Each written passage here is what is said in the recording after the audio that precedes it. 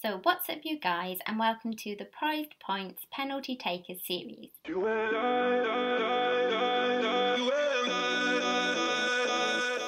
In this episode, we'll take a look at some of the top strikers who took penalties from the last season, that's the 16-17 season, take a look at their stats and see who did best.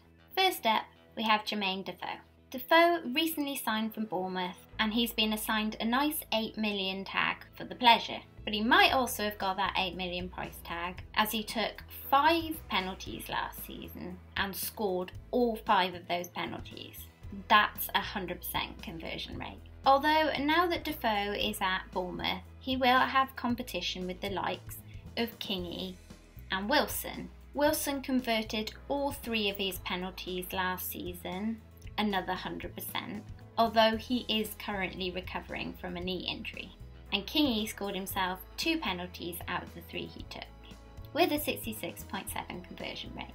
So looking at those stats, I should imagine Defoe will be taking any penalties the Bournemouth get, at least at the start of the season.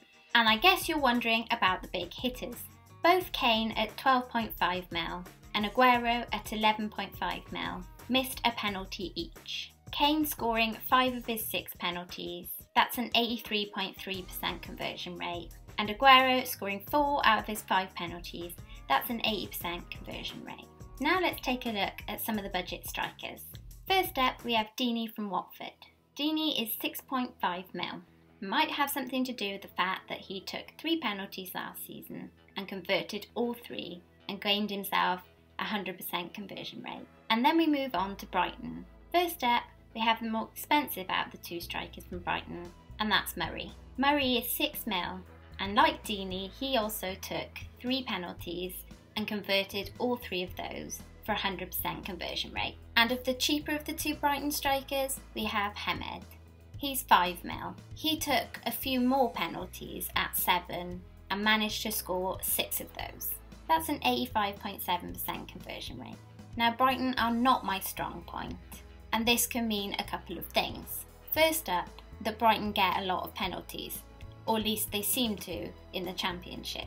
But also, it's anyone's guess out of those two which one will actually take the penalties. The only thing we're quite certain of is that if they get a penalty, they're likely to convert it.